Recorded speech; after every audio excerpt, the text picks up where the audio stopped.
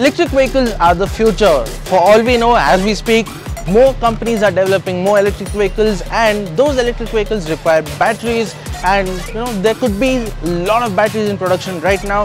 However today we in india have witnessed a sea change. It is kind of a milestone that we have not seen the like of before and that is what we're here to tell you about today. Hello and welcome to DriveSpark. I'm stephen neal and you join us at log9's day zero what is day zero? Well day zero is where log9 has marked their next milestone a step towards the future. And well the key to that future is right here in my hand. This is a TIB battery and I'm here to tell you all about this battery and the electric vehicles it will be powering in the future. So let's delve right into this battery. So as you can see, there are quite a few electric vehicles that I am surrounded by and all of these vehicles are kind of prototypes on which this battery cell is being tested. And the big news is that this battery cell is now made in India. As you can see it is etched on right here. It says made in India day zero.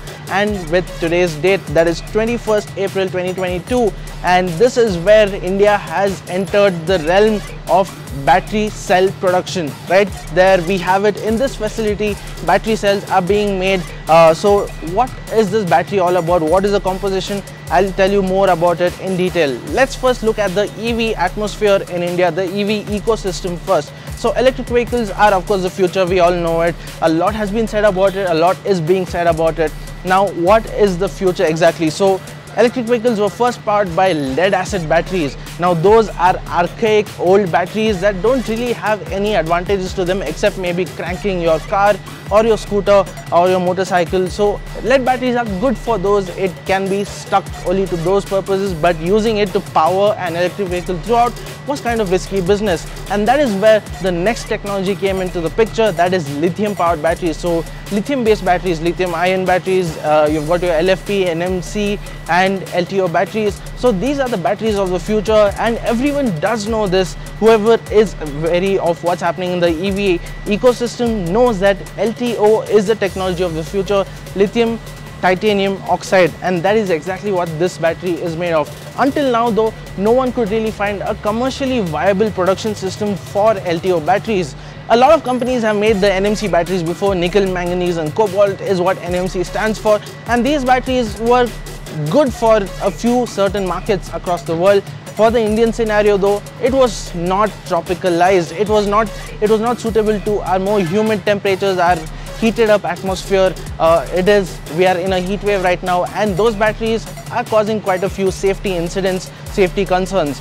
And then the next thing is LFP. LFP batteries are good. It's for those who are not very concerned about range, but for those who are concerned about range and performance, well, LTO is the way to go and that is exactly what Log9 has engineered.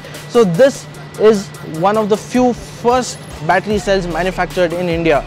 Now coming to battery cell technology, battery cell manufacturing, we have in India been importing battery cells until now.